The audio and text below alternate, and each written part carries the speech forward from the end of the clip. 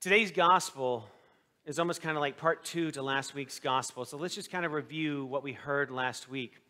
It's the part about defiled hands. The Pharisees were upset that the disciples were eating with defiled hands. That means they had not washed them. And Jesus is quick to point out that the Pharisees are not really fully understanding what the purpose of the law was to begin with and are now kind of interpreting it differently. And so when it was originally given, the law was given, the concept of being defiled meant that you had touched something that was dead or decaying or bloody, and then you had to wash yourself before you were going to go to be in the presence of God. And so the goal was to be in the presence of God.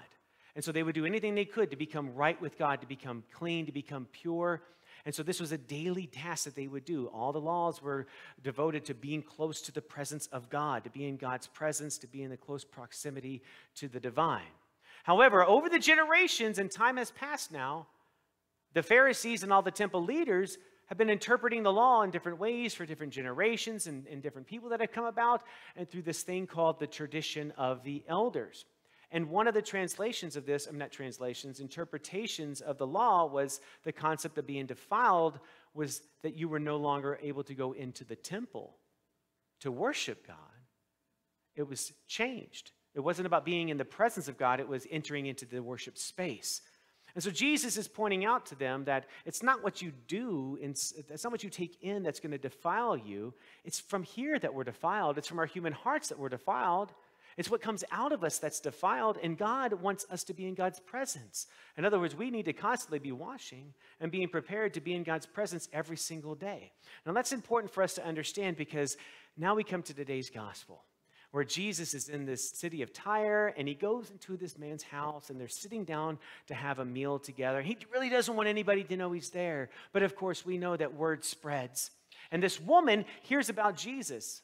And she sneaks into this house and she lays down at the feet of Jesus. Now, this is problematic already because clearly she's breaking and entering, right? I mean, she's, she's not invited to come into this home. And to come and to, to be in the presence of a man, if you're a woman, that wasn't customary. You needed to have an escort at the time. So she's like breaking cultural laws and boundaries, not to mention, she is a Gentile. She is not a Jewish person, she is a Gentile. So here's this woman sneaking into the house, laying down at the feet of Jesus. And she looks up at him and she's like, My kid is so sick. Please help him. I know you can do it. Please help my child. And he looks down at this woman and he says, I'm so sorry, but it's not fair for me to take the food of these Jewish people, these children, these, this, this, the, the, the sheep, the lost sheep of Israel. It's not fair for me to take their food and give it to the dogs. Now, the word dogs is a derogatory term for Gentiles. And she looks up at Jesus and says, But even the dogs will eat the crumbs that fall from the master's table. In other words, just, just scrape off any blessing, just a morsel of your blessing, anything. I just want my kid healed. And it's at this point in time that something amazing happens because I really think that Jesus at this moment recognizes that what he's just said and done has defiled this woman. And she's just trying to be in the presence of God, and she can't. And he recognizes this and immediately says, Go, your kid is healed. Go in peace. And at this point in the gospel, we see a shift happen. Jesus has been ministering to just Jewish people prior to this. And from here on out, it opens up to Gentiles. In other words, Jesus starts to minister to all. And immediately after this, he goes into the next town and he finds somebody that is deaf and has a speech impediment, and he takes him away by himself and he heals him. He serves this man and restores him back to fullness of life and restores him back to the presence of the divine of God. My spiritual advisor tells me all the time serving others solves all my problems. If I'm wrestling with something, someone, something I've said, something I've done, my resentments, my remorse, uh, uh, my defilement, things that I have done, go help somebody. Get out of yourself. Go serve somebody. Do something for somebody else and find God dwelling in that space. And I got to tell you, that has been true for me every single time. And I'll give you an example of this. Yesterday, we went to do the Habitat for Humanity build. My wife and I went um, to go down there.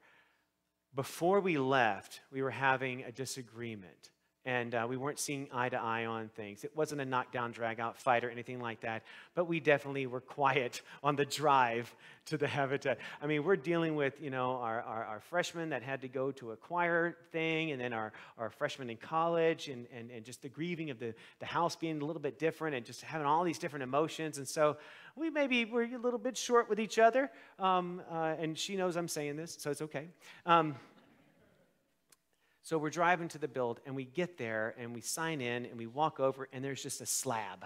Nothing has been built yet. And we take the little fanny pack and put the nails in it, and we get the hammer, and we start to go and help. And they point, Where do you go? What do you do? And we're just nailing boards together.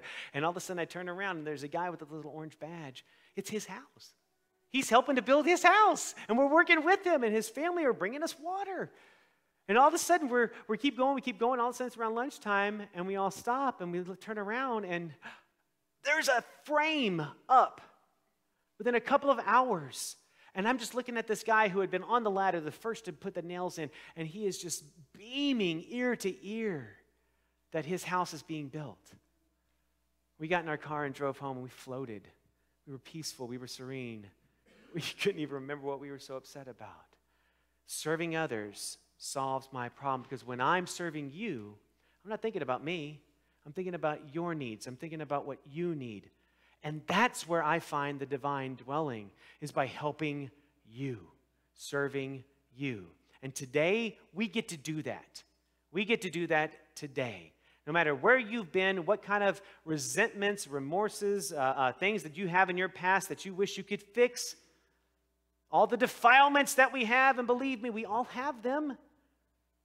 All of that can be put to rest at this moment in time by helping others, by serving others. And today we get a chance to do that, going down to the gym and serving others for God's work our hands day. We're going to put dog food and cat food in bags to give to people that are receiving Meals on Wheels for their pets. And we've already clearly heard that pets are important, especially at our children's sermon. So come and be a part of that. We're going to make Christmas cards for all of our mission partners where all the money goes to those mission partners and the cheer that we bring to our family members at Christmas whenever we share this with them, we get to be of service to more. We're going to put together health kits for Lutheran World Relief. And we're going to be serving people across the globe today. We're going to put together um, um, all of the cleaning products and, and, and bathroom thing items for Towne Twin Village for people that have just got their home for the first time. Are going to have cleaning products to help tend to it and take care of this wonderful gift that they have received. And let's not forget, we're going to be making cookies for Haven for Hope today, bagging them and putting them in, in bags of two to go down to Haven for Hope next week. Today is a day that we get to serve others. So bring your issues down to the gym and serve others and let's see if we don't find a little peace and serenity and find god dwelling in the middle of that but i got to tell you i can't um, i can't live off of yesterday's beautiful service that we did and i'm not going to be able to survive tomorrow off of what i do today but lucky for us we can serve others all the time especially at abiding presence and in your pewbacks are these wonderful little seek god serve others ministry interest surveys. And I think the choir, do y'all have those back there too as well? Oh, good, they have those as well. So do me a favor, pull one out and take a look at it real quick. You know what's coming.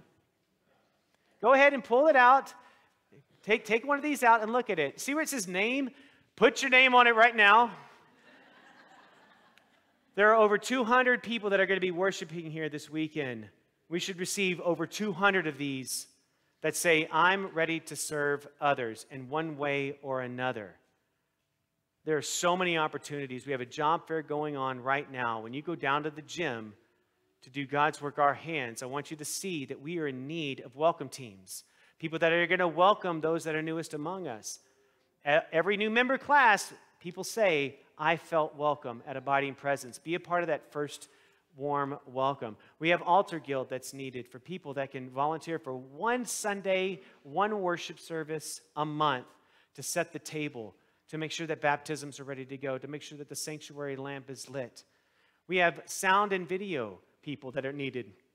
So that way the worship band sounds good. We can hear from the pulpit right? We need your help to do these things, and that way the choir can be heard as well. And also that people at home, yes, even the people at home that are worshiping at home, can receive the word of God and worship alongside with us. What will be the ministry that you adopt? Where will you serve others? Where will you find God dwelling today, right now on this piece of paper? I want you to fill it out, and when you're done filling it out, you can put it in the offering plate, or you can just bring it up here and set it on the altar at the end of church. You are needed to serve others. That's what we are as a church. But most importantly, when we serve others, remember that we forget about ourselves and we're just taking care of the person that's in front of us. And it's in that space where we find God dwelling where we find the presence of God and that beautiful dance of serving others. So I invite you, I challenge you today, fill that paper out and let's be of service. Amen.